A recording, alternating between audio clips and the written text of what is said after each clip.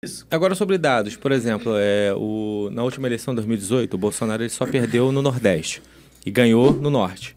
Ah, foi exatamente o que aconteceu, né? Né, não, nessa agora ele, ele perde no no Norte e também perde no Nordeste. No Nordeste eu já sabia. Ah, Mas por que é- será? Por que, que de repente, durante, durante ali o, a jornada dele, ele não fez nada que de repente pudesse mudar a, a, a- a realidade do pessoal, a, sei lá, se aproximar mais, porque ele, ele mantém o mesmo número de votos que ele teve da última eleição, pô. Ele, ele fez coisas pelo Nordeste. Só que a informação no Nor- no Nordeste demora um pouco a chegar. Não é igual aqui. Lá o pessoal assiste muita televisão. O povo ainda é mais ou menos. Manipulado, você diz, então, pela TV aberta? Sim, o povo é muito manipulado lá. Eu tenho amigos que moram lá e falam, Ingrid, aqui é assim que acontece, as pessoas estão sendo muito enganadas, elas não sabem a informação aqui demora a chegar, tudo mais. Então, assim, As redes sociais, vítimas. Instagram, tudo isso, Twitter.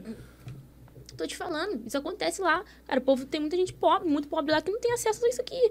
Entende? Só fica na televisão, tipo, mais os senhores, né? As senhoras. Então, isso pesa, E- entende? E, no caso do Norte? O Norte ele ganha e agora ele perde também.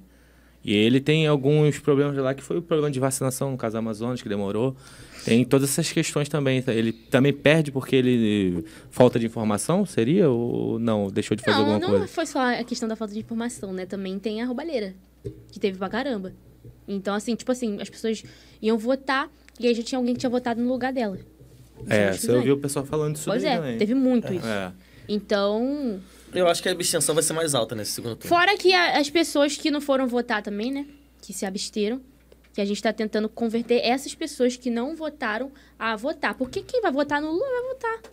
Ah, tem que vai votar no bolso também. Então, acho que vai ter mais abstenção. Acho que muita gente que não vota nem no, que votou, tipo, no Ciro, na Tebet, não quer votar nem no Lula, no Bolsonaro, não vai. Tem muita gente no Nordeste que não vai, tá ligado? Né, Tem muita gente que também ia votar no Ciro e vai votar no Bolsonaro nesse turno. Tem, pô.